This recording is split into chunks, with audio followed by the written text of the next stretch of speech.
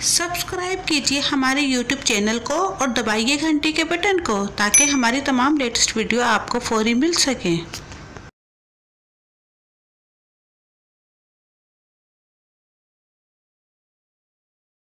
वालेकुम दोस्तों, मैं हूँ आपकी शेफ़ जरीन फातिमा। आज मैं आपके साथ शेयर कर रही हूँ रेड सॉस पास्ता की रेसिपी, जो कि बहुत ज़्यादा इजीली तैयार हो जाते हैं बहुत ज़्यादा मज़ेदार बनते हैं।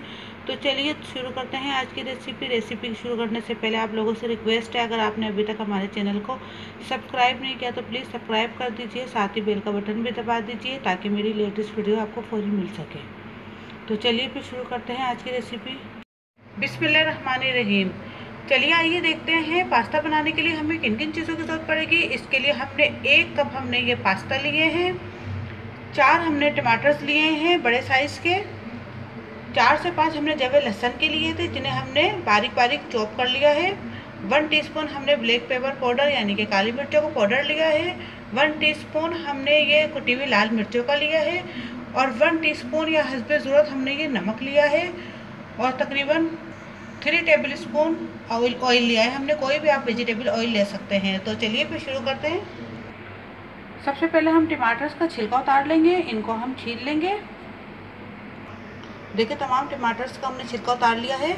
अब इसके हम छोटे छोटे पीसीस कर लेंगे। कट कर लेंगे इनको छोटे छोटे पीस में। अभी देखिए चॉप्ड हो गए हैं। छोटे छोटे काट लिए हमने टमाटर्स को। अभी हम टू टेबल स्पून हम इसमें ऑयल डाल रहे हैं। एक टेबल स्पून हमने बचा लिया है। अब इसके हम चॉप किए हुए हम इसमें लहसुन डाल रहे हैं। हमने लहसुन के इन चॉप किए हुए जगहों को ब्राउन नहीं करना, बस हल्का सा जैसे ही नरम पड़ेंगे, हम इसके अंदर दूसरी तमाम चीज़ें डालेंगे। अब इसके अंदर हम ये कुटी हुई लाल मिर्ची डाल रहे हैं। अब इसके अंदर हम टमाटर डाल लें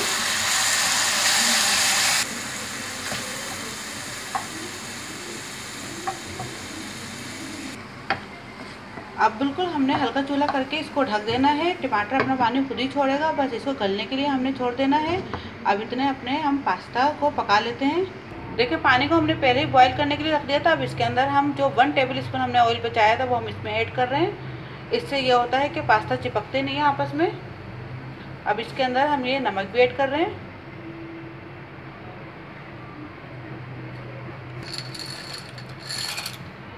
अब इसमें हम ये अपने तमाम पास्ता डाल दिए हमने। अभी चमचे से हम इसको हिला रहे हैं, ताकि ये आपस में चिपके ना। अब इसको पाँच से छः मिनट हम इसको पकाएँगे तो ये गल जाएँगे पास्ता। इसको हमने इसी तरीके से रखना है और वफ़े वफ़े से चमचे चलाते रहना है हमने। अब ये देखें, पास्ता हो चुके हैं, अब इनको हम निकाल लेंगे और एक छन्नी से छान लेंगे। अभी देखिए टमाटर भी हमारे हो चुके हैं। अब इसके अंदर हम ये नमक ऐड कर रहे हैं। साथ ही इसमें ये काली मिर्चों का पाउडर डाल रहे हैं हम। अब इसको हम मिक्स कर देंगे।